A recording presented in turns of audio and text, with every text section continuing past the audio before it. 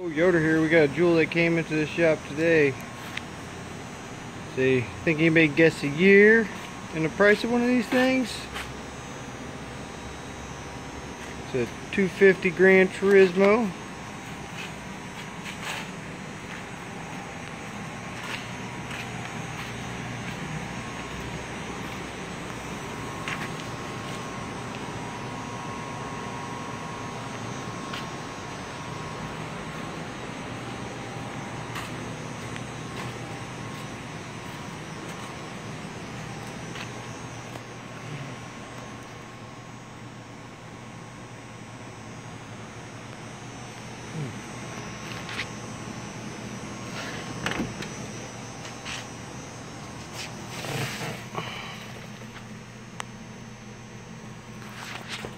I love my job.